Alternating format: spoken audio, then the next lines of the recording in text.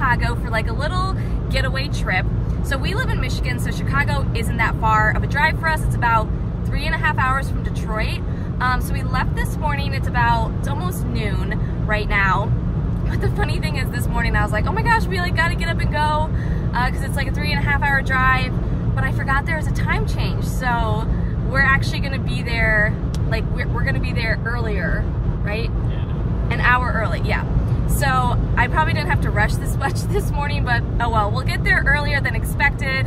Hopefully we can check into our hotel room um, a little bit earlier because I think we're gonna get there at two and check-in isn't until three, but I hope that we can get in early so we can change and kind of get ready for the day.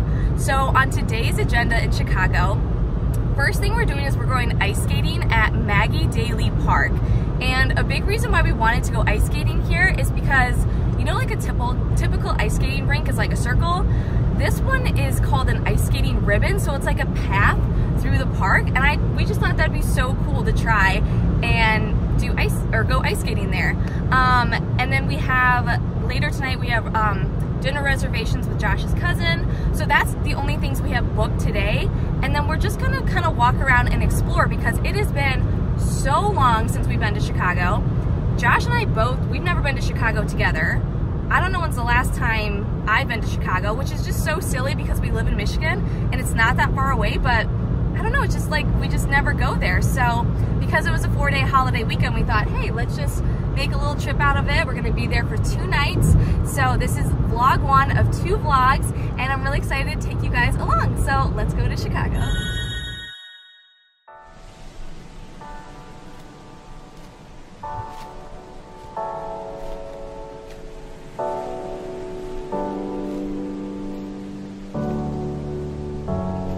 Now, as soon as we got into Chicago, we somehow took a turn and ended up underneath the city.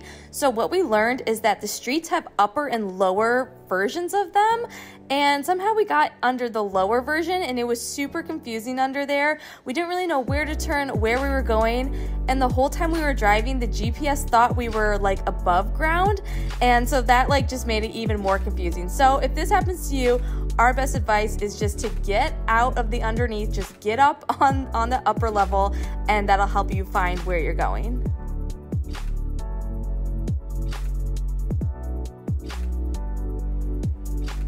Once we figured out where we were going, we found our hotel, checked in really quick, did a quick change, and then we were on our way to Maggie Daley Park because we had ice skating reservations at 2 o'clock and it was about like 1.45. So we wanted to head over to the park. So this park is connected to Millennium Park, which is where the Bean is, and it's a very, very pretty walk. There's this beautiful bridge that kind of goes over the highway, and that's where you're gonna end up at Maggie Daley Park to do the ice skating ribbon. Now the process for checking in for ice skating was super simple and easy. You just scanned your ticket and you got to pick up your skates right there as well. I did notice on their sign that you can actually skate for free Monday through Thursday if you bring your own skates and I thought that was so awesome. And then this is what the ice rink looked like. So you had some picnic tables, a cafe, bathrooms, and some benches where people were taking their shoes on and off and putting their skates on. And then speaking of skates, our rental ones were very well loved and used. Um, they were not the best skates by any means, but that's kind of to be expected when you're renting skates. And it was fine. They did the job for what we were doing. And then this is what the ice skating ribbon looked like. So we loved this experience just because it was different than your typical ice skating rink. It was kind of like skating on a path and you had these beautiful trees and Chicago buildings in the background. It was just so lovely.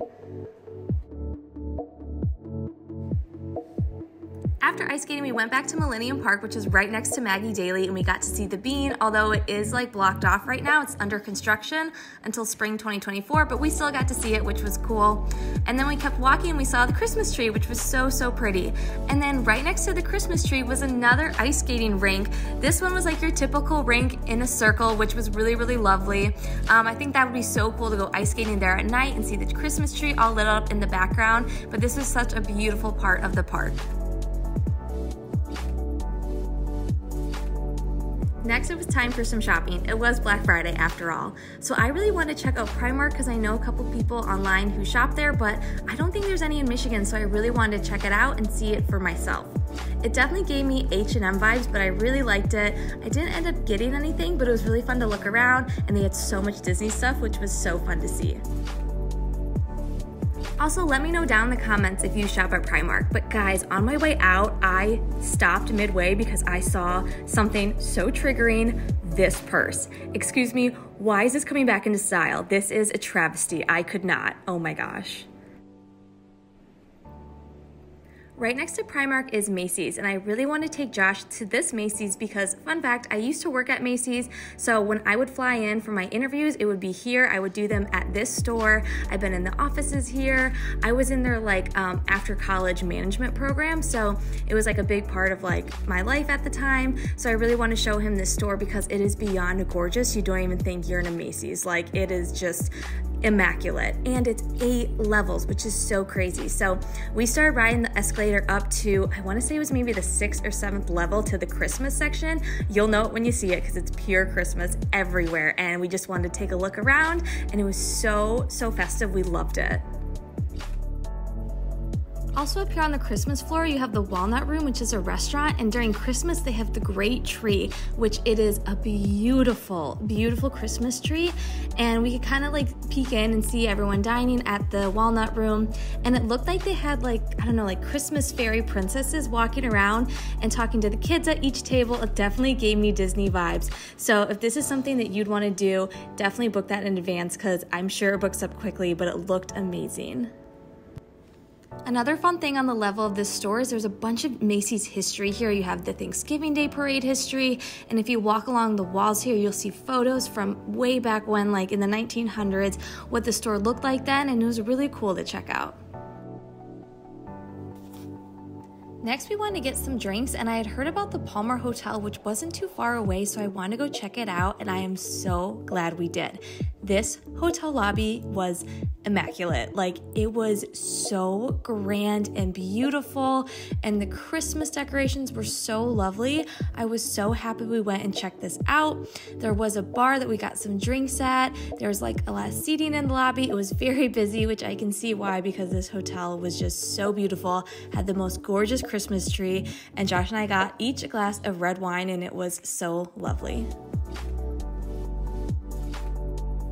All right, we're just getting ready to go out to dinner with Josh's cousin, but we want to give you a little recap on our day so far. So first we went ice skating at Maggie Daley Park, which at first you and I are both like, oh my gosh, I forget how to ice skate and it was a little yeah. bit of a learning curve at first, but once we got it, it was so much fun and it was so much better than like a typical ice skating rink. Um, so that was like really fun. I did find it weird that like there was no lockers to put your shoe in. Like I've been ice skating in New York and like you buy a locker usually, but this was like just a rack sitting out. And you just put your shoes there and like hope no one takes them. So I didn't have very nice shoes, so I don't think anyone was gonna take them. But um, yeah, you did the ribbon around, and then it was a little uphill at first, and that was like kind of hard when we had to go uphill. Um, but it was super super fun. And then after that, we walked around Millennium Park and we saw the bean, but the bean was like gated off. It's gated off, I think, until spring of 2024, but we took a selfie with it anyway, but whatever. It's not like the best picture in the world. And then we walked by and we saw the Christmas tree, which was really cool. Um, and then there was that other skating rink by the tree, right? Yeah. But that one was like a circle one. So that was kind of like your basic skating rink, but it was really pretty because I'm sure at night, like the trees all lit up and you could see the Christmas tree right there. So that was really cool. And then after skating, you were hungry, so we went to, where did we Charlie, go? Charlie Kane. What was it? Charlie? Charlie Kane, Charlie Kane. Okay, so that was like re really close by the circle skating rink, by the Christmas trees Christmas tree, so we grabbed some chicken there. Crazy, crazy cane? I don't know. I don't know, something like that. um, but then after that, we went shopping. We went to Primark because I know a lot of people who shop there, and I've never been to a Primark Primark before, so we checked that out. It really reminded us of like an H&M. Yeah. But it was really cool, and it's Black Friday today, so like the stores were crazy busy. And then right next to Primark was Macy's, and it's like an eight floor Macy's. It's absolutely gorgeous. I actually used to work at Macy's, so we thought it'd be fun to like pop in there. Um, and that was super cool. They had a beautiful Christmas section with like all this Christmas decor, so it was really, really nice. Um, but yeah, we're about to go out to dinner to, is it Siena Tavern? Correct. Yes. So we're gonna go out to dinner there. So I'll film a little clips here and there, but um, we're gonna go out with his cousin. So I'm not gonna do a whole lot of vlogging there. But it's been a really good first day, and I'm super psyched about tomorrow.